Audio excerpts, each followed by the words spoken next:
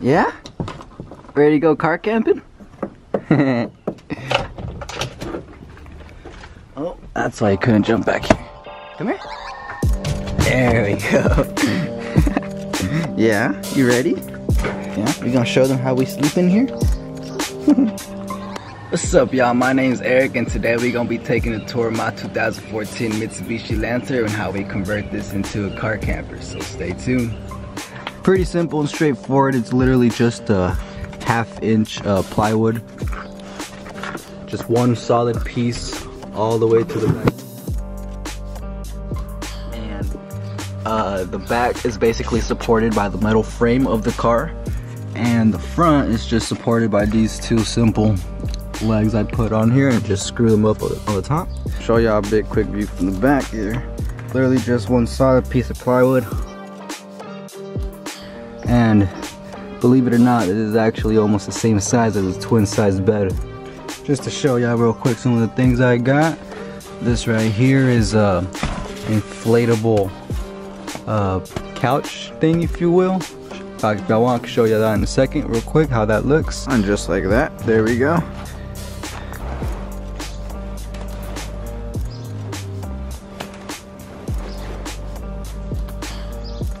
And then here I got uh, basically a camping like uh, portable pot, pan, cups, everything I need to cook basically. I got some propane tank down here, a couple lanterns.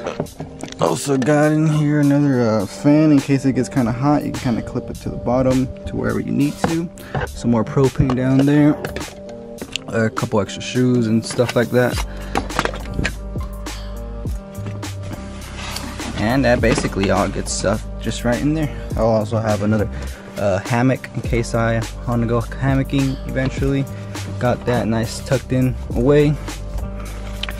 I also have my uh, sleeping bag another blanket this is my backpack for all my electronics.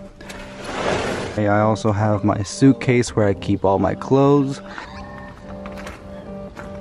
Basically got my camping stove here clothes pillow and um my uh, cooking utensils which is literally just cheese grater forks spoons one pot all i really need one spatula type of thing and a thing for like soup and stuff. And for those of you wondering where or how i keep my food cold bam this is the Dometic uh, fridge CFX 40 sits right here on my passenger side. It's the only place it really fits honestly because down there wouldn't really fit.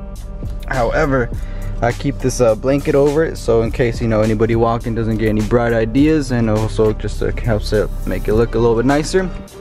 And right next to the fridge I got the AGM deep cycle battery which is also covered up with the blanket. It's uh, connected with the fridge and it's also connected to the alternator of the car. So whenever I'm driving the battery stays charged. Right next to the battery I got the water jug which I make sure stays closed at all times so it doesn't affect the battery at all. And I'm kind of always making sure that that stays closed. And yeah I just keep the towel over it make sure nothing no one can really see what it is and that's basically it.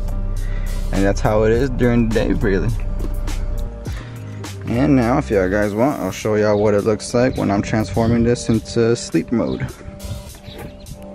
So first thing that I really do now is gonna move that and reach down under here for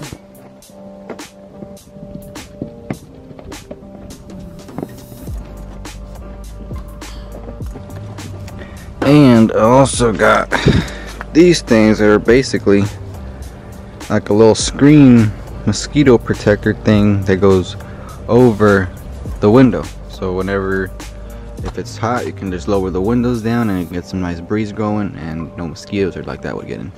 It's pretty nifty. And basically this thing literally just wraps around. All perfect. And you can still lower your window. And my windows are already pretty tinted but you just fix that a little bit case you're wondering.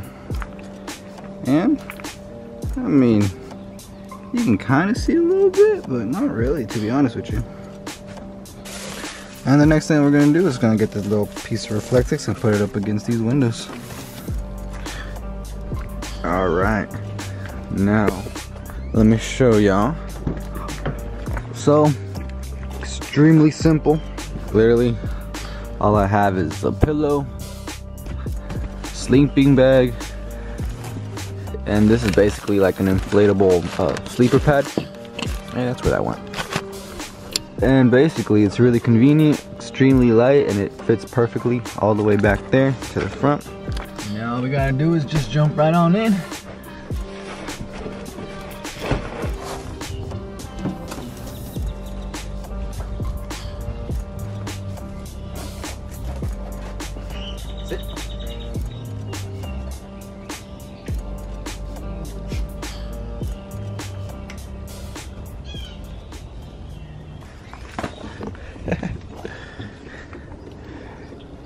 Hey, you ready to drive? Come on up. Silly girl. Getting hair everywhere. More than enough space for me. Mm.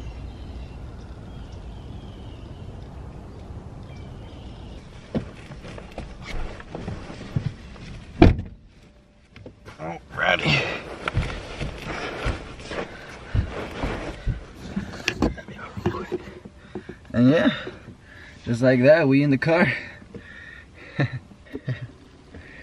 and I'm chilling now. you can see, I got plenty of elbow space on this side, on this side, plenty.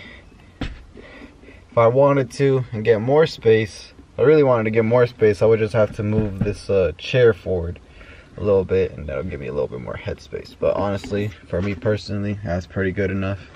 I put the cook stove right up top there so it's not in the way for my feet. One thing that I do need to do is make another thing of Reflectix for these windows, maybe for the back window, just so I can get a little bit more sense of privacy back here. Definitely does the job up front. Pretty protected from the front and this side.